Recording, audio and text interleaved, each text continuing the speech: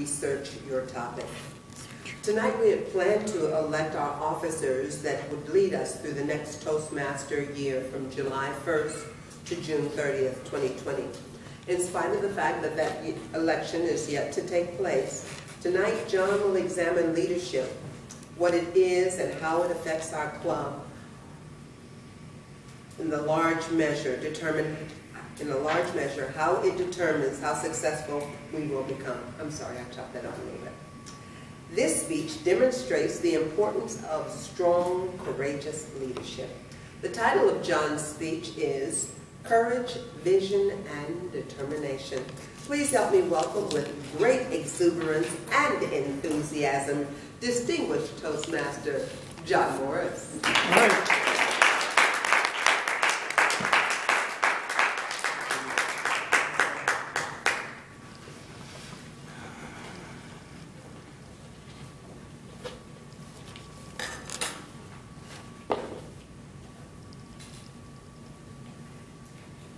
Was about one year ago when we elected Brenda Adams to serve as president of Carrollwood Toastmasters. During the past year, we've had a really, really rewarding year in every way that you can measure it. Membership, education, we've had a, a wonderful time here under the leadership of Brenda Adams. And not only that, but Brenda led us by being a participant in the International Speech Contest. You know, in that speech, she revealed part of herself that none of us knew before. It took courage to do that. And I commend her for the year that we've had because she helped us be what we are. Tonight, I'm going to present another leader with the help of Mr. Jim Simms. If you would come up, please.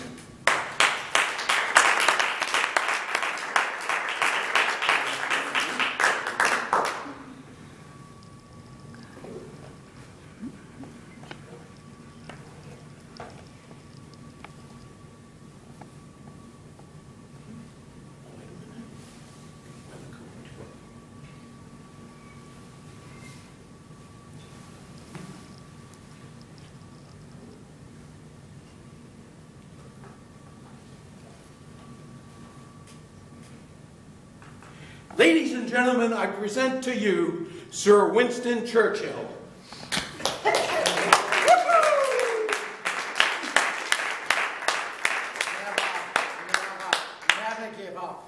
Mr. Churchill, you were born in 1874. Your father Randolph was a nobleman. Your mother Jenny was an American citizen. You had one brother by the name of Jack, I believe. You were at the age of 18, you were in military school. Your parents really didn't play any role in bringing you up. They pretty much left that to nannies and to the school officials. They were absentee parents in every respect. Your dad wrote you a letter at the age of 18, and it said this I am certain that if you cannot prevent yourself from leading the idle and useless, unprofitable life that you have had during your school days and later months, you will become a mere social wastrel, one of hundreds of the public school failures. You will degenerate into a shabby, unhappy, futile existence. If that is so, you will have to bear all the blame for your misfortunes on yourself. Your affectionate father, Randolph. Winston Churchill, among other things, had an absolutely photographic memory. He remembered that letter verbatim throughout his life. In a speech to Parliament, he recited the letter word for word 50 years later. He was a literary genius and a wordsmith of the first order. During the Boer War, he entered the Boer War not only as a combatant, but also as a writer. And he was captured. He was captured, he was a prisoner of war, and then he escaped. How did you escape? Oh, yes.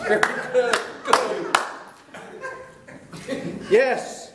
At the age of 24, he published his first book. At the age of 25, he published his first novel, Savnolia.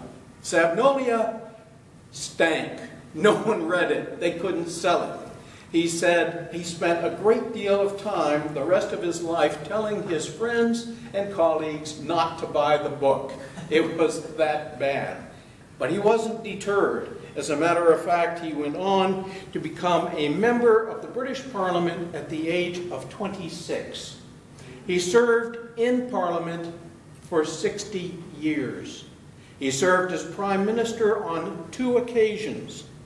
He served as a combatant, as a leader in World War I. Yes, he, very good, that's what you did. You were the Chancellor of the Admiralty, you remember those years, I'm sure. You, that means that he, he led the Navy. He was like the Secretary of the Navy.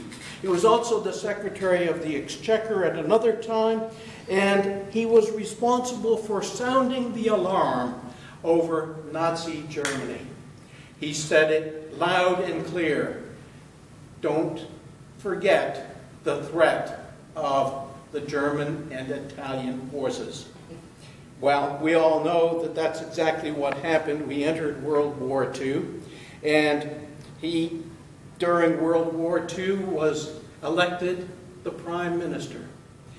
In 1940, he was elected Prime Minister. That was about 40 years after he said he was going to become Prime Minister. He was elected Prime Minister and served for that next five years.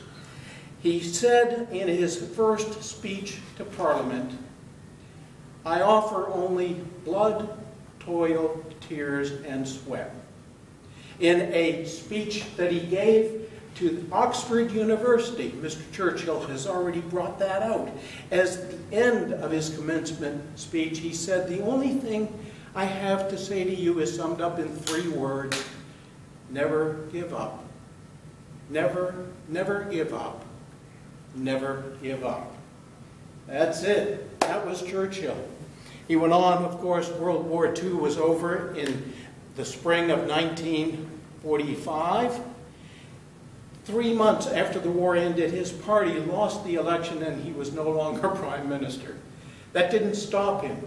He talked often about the threat of the Soviet Union. He talked often about how we should maintain our alliances in Europe and help Europe to rebuild.